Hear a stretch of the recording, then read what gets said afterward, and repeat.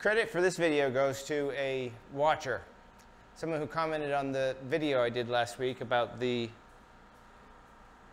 about the water mist. Um, his handle, he goes by M, capital M, space, capital E. I as assume those are his initials, and he wishes to be anonymous. But his comment, ME's comment, was in the water mixture, um, add baking soda. I don't know the ratio, how much baking soda, but he said to mix some baking soda with warm water into this solution and it would help prevent rust corrosion. I think that's a great idea. I did a little bit of research online and lo and behold, absolutely.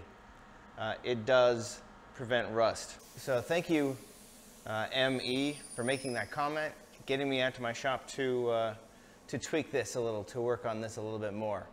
So that's one thing I'd like to do. I'm going to add some baking soda to, to the water mixture. Another thing is I don't like this water here on the VFD, the variable frequency drive. I want to move it off there.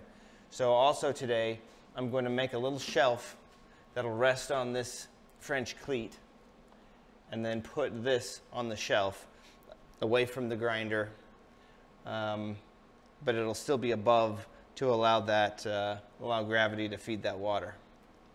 So yes, those are the two tasks for today. Let's get to it.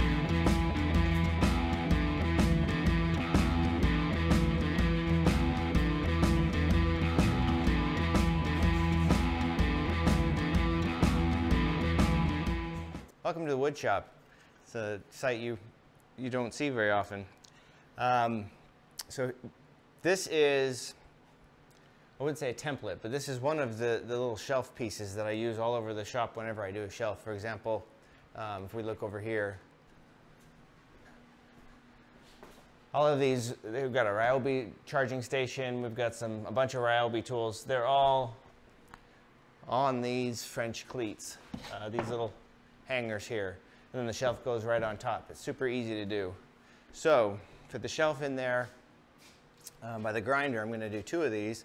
I'll probably uh, glue and, uh, and, and pin a top on here just so it's a little more stable. Okay, so for the material, I'm just going to use some, some uh, scrap three quarter inch plywood. And uh, boy, that's, that's already a good size. I'll use this part for the top for the shelf and then this part for the legs.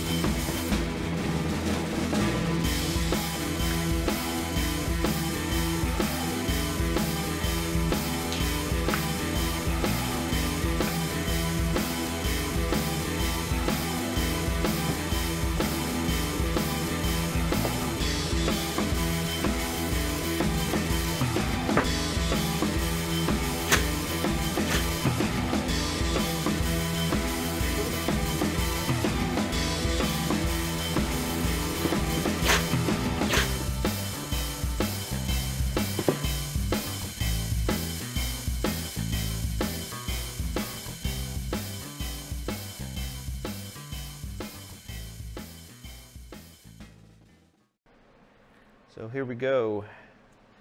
We've got the air supplied to the new unit that I installed last week, which feeds now a baking soda and water mixture to the grinder. And then also today, we made a little shelf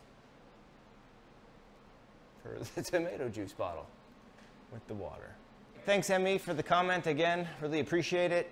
Um, for the record, just so you guys know, I put two tablespoons of baking soda in that solution of warm water. Now I don't, actually I don't know if it's a solution or a mixture. Do I have to, please let me know. Do I have to keep mixing it up every time I want to use it? Uh, or is it now a solution so that I can just go for it or should I just not even worry about it? But uh, once again, appreciate all your, your comments. Um, I appreciate your suggestions. I'm learning here and I'm learning faster uh, with, with good viewers who participate. So thanks again. Take care.